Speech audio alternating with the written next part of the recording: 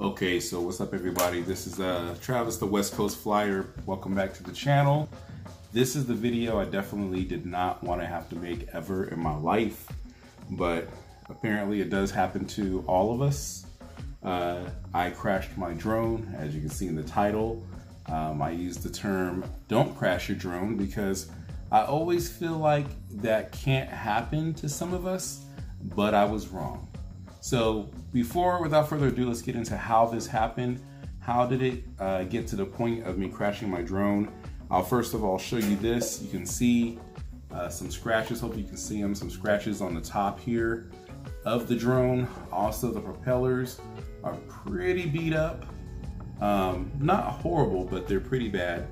Um, I think this one definitely needs to be replaced because it's probably uh, will affect the aerodynamic rotation of the propeller. Fortunately, I don't think anything really happened with my gimbal. Uh, this happened about a day ago, a day or two ago. And to be honest with you, I actually haven't flown the drone since because I was a little irritated, frustrated, uh, scared to put it back in the air. So I was like, eh, I'm gonna hold off on probably uh, reflying it anytime soon. So again, how did this happen? Well, I was flying in my backyard, which I don't have a aerial a picture of right now. Actually, I can put a picture up. See if this works out if I put this picture up here. So anyway, I was flying in my backyard. it's a pretty small area. It's not a very big area. Uh, but I was by myself. It was big enough for me to launch this small thing. It's not huge. DJI Mavic 2 Zoom. And um, everything was fine. I actually was flying right above my house, not really going far. A neighbor is getting a pool put in. He was letting me get some pictures of his pool. I was like, cool, you know, he wanted me to uh, just give, give some like progression work of what's going on in his backyard, which I thought would be cool too. And uh, everything was working out great. And actually, it got to the point where the battery was low.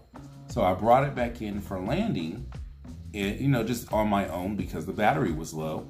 And as I get it literally in a landing position, the drone is hovered right about the top of my fence level, right in front of me. I watched the whole thing happen.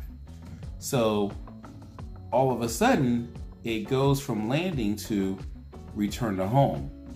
This is where things get very important.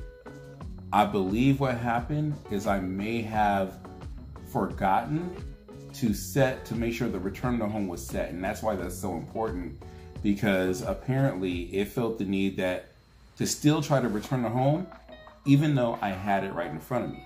Now, I know what a lot of you are thinking. Why didn't you just cancel the return to home? In the moment, I have done that before, but in the moment, I'm thinking to myself, well, it's right here. I'm just going to bring it down. But what actually happened is instead of it going down, it proceeded to start moving backwards toward the fence line. And I'm thinking to myself, okay, well, hold on. Uh, it's gonna, you know, stop. No, it kept going. Right over the fence line, right on the other side of the fence line was my neighbor's fence.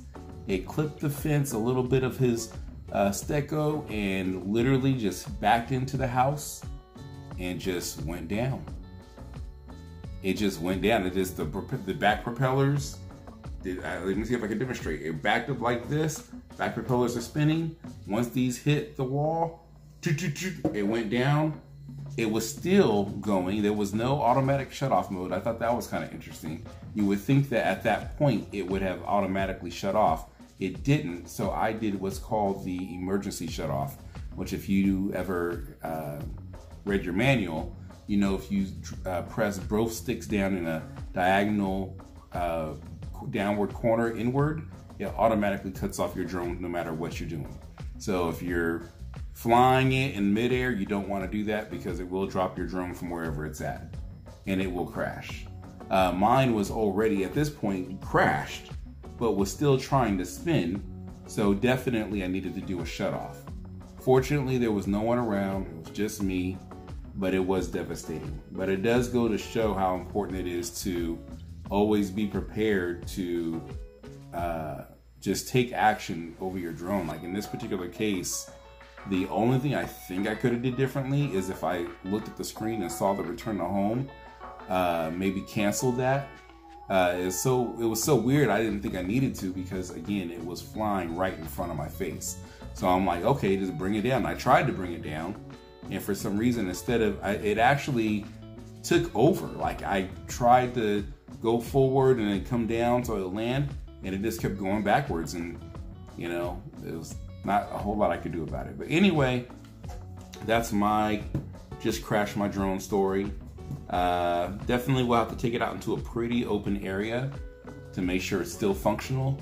I'm probably gonna go ahead and I have extra propellers, so I'll definitely be replacing this front left propeller on my drone because um, yeah, that's just not, it's not looking good. There's actually a little cut there that I think will affect the, the spin of the propeller. So be careful with your drone, uh, fly safely, Hopefully I don't have to come back with another video like this. I'm happy it wasn't a whole lot of damage. As you can see again, just a little scratch on the top. Scratched up propeller. Uh, no broken leg. From what I can see, I, I'm pretty sure it'll still fly. Uh, I don't see why not. So anyway, uh, if you like the video, you know what I'm gonna ask you to do. Please give it a thumbs up. Please subscribe. Until next time, we're out.